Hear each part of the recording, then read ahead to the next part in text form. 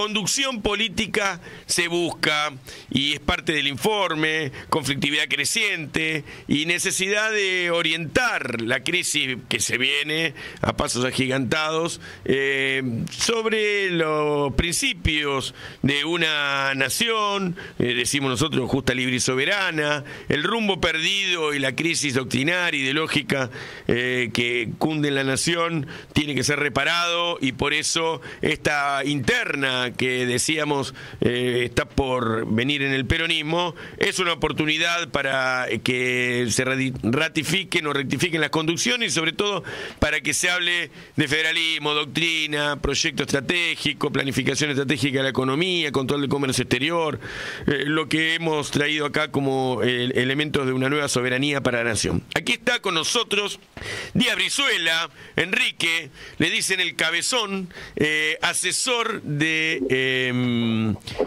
Ricardo Quintela, gobernador de La Rioja. ¿Cómo estás, Enrique? ¿Te ¿Nos escuchás? Sí, ¿qué tal? Buenas tardes. ¿Cómo estás, Gastón? El gusto de escucharte. Y buenas tardes a tu amable audiencia. Hola, eh, te sorprendí, ¿no? Me parece que no, habíamos hablado en estos días que estamos hablando sobre que tenemos este programa que se llama Peronismo sin gradualismo. Ha dicho esto, eh, me encanta que estés con nosotros y que podamos escucharte porque está eh, en marcha un proceso electoral ¿Qué me podés contar? La pregunta del millón acá es, eh, Quintela juega? Bueno, yo ya sé qué vas a decir, pero te quiero consultar para que escuche la audiencia.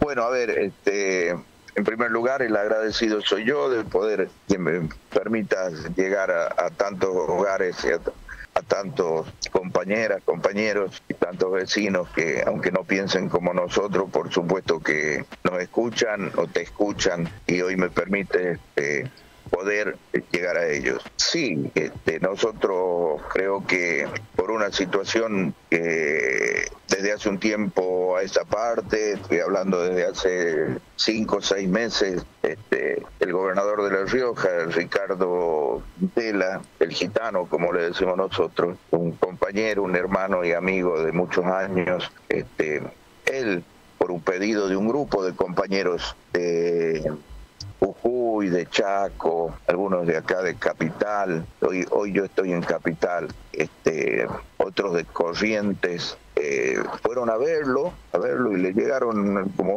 como golpea la puerta de cualquier vecino. Ricardo es un tipo que le atiende a todos los vecinos que le golpean la puerta, sale él y lo atiende. Y le fueron a pedir eso, ¿no?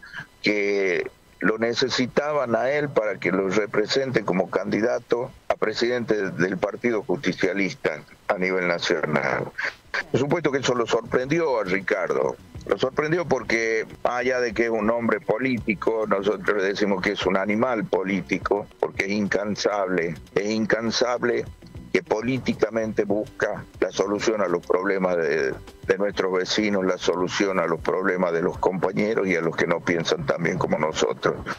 Este, lo hizo pasar y, hablaron del tema. Y dice, pero esto, esto no va a ser fácil porque hay que llegar a todos, hay que caminar. Y a partir de ese momento empezamos a caminar. Yo, por una decisión de los mismos compañeros, yo estuve y estoy a cargo, digamos, de no del armado, sino de la coordinación del Norte Grande, que lo fuimos extendiendo al Norte Grande, que llegamos ya a provincia de Buenos Aires, llegamos a, a Neuquén, llegamos a Río Negro, San Juan, Mendoza, sí, ahora vamos a, vamos a ir a Córdoba. Así que se extendió el norte grande de nuestro país geográficamente, este, como lo habíamos lo habíamos diagramado, ¿no? Pero bueno, ahí, ahí estamos, Ricardo es, como le decía, un animal político, y lo que me decía a, mí, se lo creo que lo comentó ya en, en algunos lugares. Nosotros hace mucho tiempo que venimos caminando y hay muchas, muchas voluntades que vieron una luz de esperanza en la, en la figura de Ricardo para, para poder este, unir el peronismo, que ese fue su primer objetivo. Nosotros mismos lo llevamos a ser candidato a presidir el PJ, porque nadie salía y, esto, y a nosotros como partido, como movimiento nacional justicialista, nos hace falta que alguien, alguien conduzca esto, porque lo que estamos viviendo, yo creo que yo tengo 65 años, voy a cumplir 66, no lo he visto nunca, en el que hemos pasado momentos difíciles. Pero esta situación, el avasallamiento de nuestros derechos, me refiero a los partidos políticos, al ser humano, al argentino, a la destrucción de nuestra república. No lo he visto nunca. Pero no hay nadie que, que hoy pueda este, encabezar con muy mucha fuerza, mucha autoridad y con mucha sencillez y humildad, que es lo que tiene Ricardo, ¿sí? unir eh, nuestro partido, el Partido Justicialista, que es el instrumento fundamental del, del movimiento nacional justicialista. Y esto hay que moverlo. Este elefante que está dormido había que despertarlo y Ricardo lo despertó. Y bueno, las decisiones de, un sector que creíamos que había entendido cuál era la forma de, de, seguir empujando este carro juntos, decidieron de que no, de que había que, que buscar una, una forma de dividir nuevamente a los compañeros. Pero bueno, y acá estamos y Ricardo, en honor a todas y todos los compañeros y compañeras que desde un primer momento y luego se fueron sumando y a los que les dijo que sí, que sí vamos a estar y vamos a, vamos a competir, él no va a tener cara para mirarlo a los ojos a los compañeros y decirle, y me tuve que bajar, pero ¿por qué? Yo creo que esa es la situación en que estamos viviendo, ¿no? Eh, o sea, lo que vos estás diciendo en este momento es que Ricardo Quintela eh, no se baja, eh, porque no habría forma de expresarle eso a eh, mirarlo los ojos a los que lo impulsan. Pero si hubiera, por ejemplo, una propuesta de unidad, entonces eh, no eh, se preferiría primero pasar por el eh, filtro del electorado, participar de las elecciones, como se plantea hasta ahora, y luego el que gana conduce y el que pierde acompaña, como se dice siempre, que pocas veces sucede, pero que hay que siempre ratificar el, la idea de que esto tiene tiene que ser así. No se baja entonces, Ricardo. No, porque, a ver, ojo, es a mi humilde entender. Claro, claro. Este, si hubiese habido alguna algún viso, ¿sí? de intenciones de unidad, primero hay que conversar. Primero, primero los compañeros debemos sentarnos a una mesa, todos los compañeros que, puedan tener aspiraciones, compañeras y compañeros, en mayor o menor jerarquía, en mayor o menor medida, somos todos iguales, somos todos compañeros. Unos representan un poco más, otros representan un poco menos, pero creo que como, como iniciamos esto con Ricardo, ¿sí? había que buscar el punto de coincidencia porque para tener diferencias tenemos 10.000 diferencias entre los compañeros, y es lógico, pero esas diferencias, si uno las trata sentado a una mesa, que hace mucho tiempo que nuestro partido no discute política, política, ¿qué es lo que, cuál es el, el, el programa de gobierno que necesita nuestro país para salir adelante. Y como yo lo dije alguna vez, nosotros podemos llegar a, ser gobierno nuevamente. Hay muchas posibilidades por la situación en que está viviendo el país, porque vamos a volver a, buscar en las huestes de, del partido peronista alguien que se vaya a hacer cargo. No podemos hacer cargo y podemos ganar una elección pero si no tenemos un programa de gobierno, un, algo que, que, nazca de las bases para poder presentar a nuestros connacionales, el movimiento nacional justicialista, vuelva. ¿Sí? ¿Me, me escuchas? Sí, sí, ahí sí, ahí sí, se había cortado un poquitito ah, más. Que, que nuevamente el, el, el movimiento nacional justicialista vuelva a las bases. Estamos viviendo lo que estamos viviendo y debemos hacernos cargo de eso porque hemos retirado el partido que es el instrumento del movimiento nacional.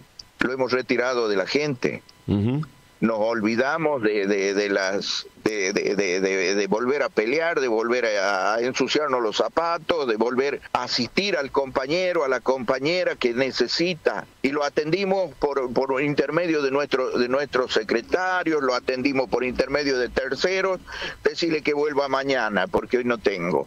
Bueno, aprovecho para decirte que, ¿eh?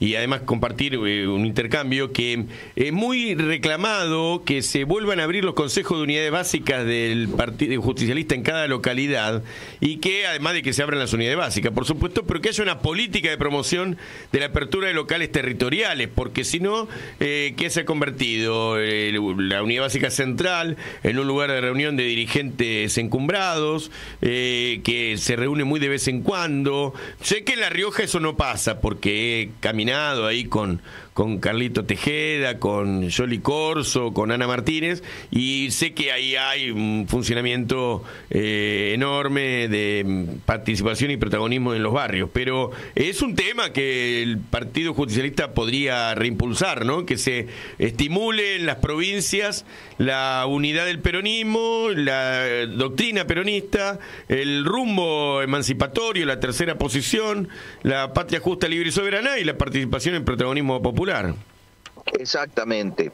Nosotros, nosotros en La Rioja hace muchos años que con nuestros errores y nuestros aciertos, más errores que aciertos sin duda, nosotros venimos caminando, caminando la provincia, caminando la capital, donde reside más del 50% de, lo, de los riojanos, y tratando de llevar soluciones hasta los rincones, rincones este, más lejanos de nuestra capital. Pero la idea, la idea de este compañero que piensa y ejecuta peronismo es que los que viven en un, en, un puestito que puede estar allá al pie de la cordillera, que queda más cerca, que lleguen, que lleguen a, Chile, que vengan a la capital de La Rioja, tengan las mismas posibilidades que tienen los que viven frente a la Plaza 25 de Mayo, que es nuestra plaza principal en La Rioja. Para darle forma a esto que decís, quiero contar que em, en La Rioja la tarifa de luz eh, que paga un riojano son entre 15, 20 y 30 mil pesos,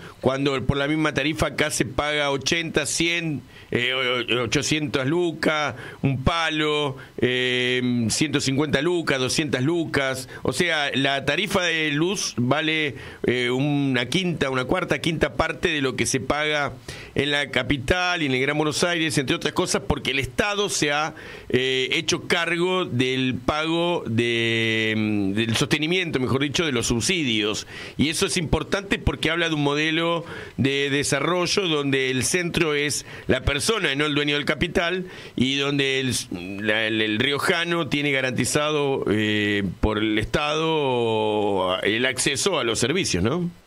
Exactamente. Eh, en La Rioja se pagan las tarifas este, a, precios del, de diciembre del año pasado. No se modificaron las tarifas. Ninguno de los aumentos en la.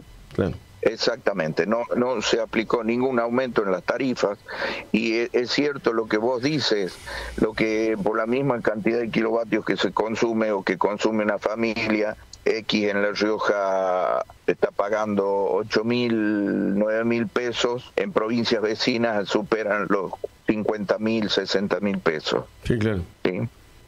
40, 4 a 5 veces más de lo que se paga en La Rioja.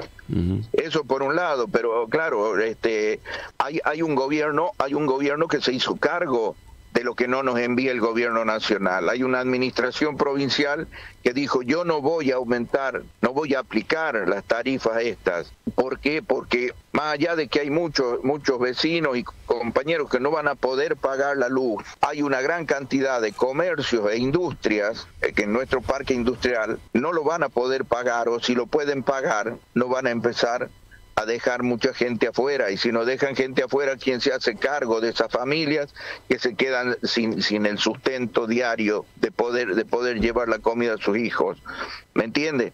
Primero pensamos en la, en la, en la, digamos, que, el beneficio tiene que llegar primero a nuestra gente y recién a las empresas.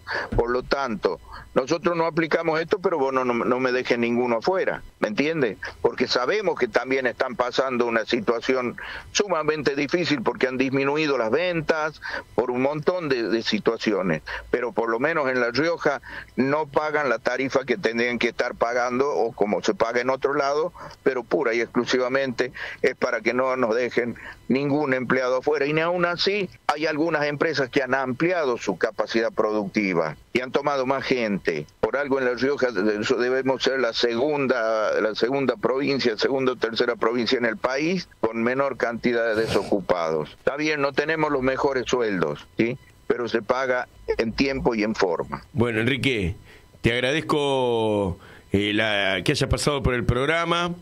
Queda el compromiso, por lo menos nuestro deseo, de que en algún momento el gobernador Quintela nos eh, acompañe en el programa por este medio llamado telefónico. Si quisiera venir sería, por supuesto, ideal y haríamos otra cosa. Pero, eh, y por supuesto, eh, agradecerte la nobleza de haber acudido al, al llamado y estamos en permanente contacto. Un abrazo grande, querido Brizola.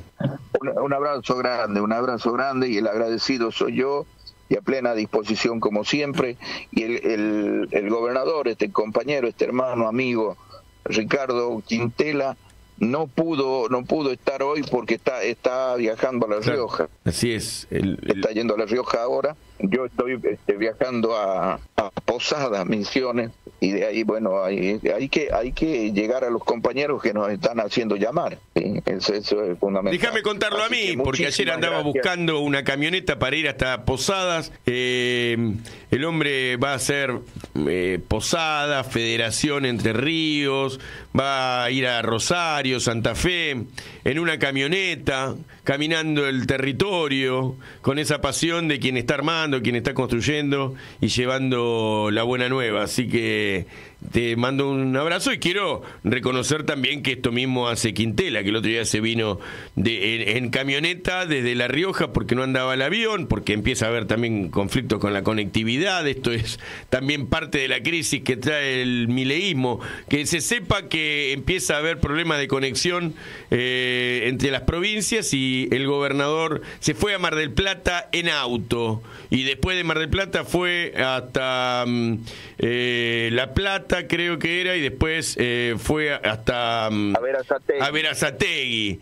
Eh, así que imagínense cómo están ya de cansancio llevando la propuesta política para la interna. Eso es la pasión que trae el compañero, discúlpeme que, lo interrumpa. Sí. Y usted sabe que lo único, lo único que hacemos, yo en mi caso, que soy una persona que lo conozco desde hace algunos años, más de 40, a, este compañero, hermano y amigo, voy a hablar del ser humano en su gran mayoría, porque, a ver, hablar, hablar mal de los compañeros no nos corresponde. Nosotros nunca nos van a escuchar hablar mal ni a Ricardo ni a ninguno de nosotros hablar mal de, algún compañero.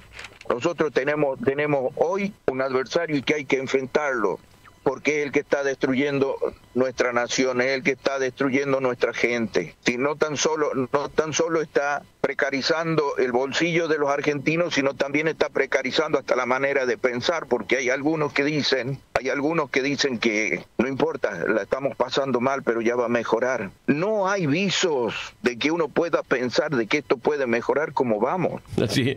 Entonces, hasta eso está precarizando, compañero, ¿me entiende? Y eso, y eso porque y, a lo que a lo que llego a lo que quiero llegar es que esta esta esta campaña si se quiere la estamos desarrollando con lo que somos, con lo que hicimos y con lo que queremos hacer, sin hablar absolutamente mal, especialmente de ningún compañero, ¿sí? porque la gente está cansada de que nos peleemos, la gente está, nos está pidiendo, a ver, queremos ver un proyecto, que, que carajo, perdón, compañero, ¿qué van a hacer? Déjense de pelear, ya para peleas, ya estamos cansados, porque ustedes pelean, se arreglan y después nadie hace nada. Nosotros estamos demostrando que todo lo que se hizo en La Rioja se puede aplicar en todo nuestro país. Buenísimo, Enrique. Te agradecemos mucho. Y muchísimas, muchísimas buen viaje. gracias, compañero, y disculpe. Muchas gracias, muchas gracias, compañero.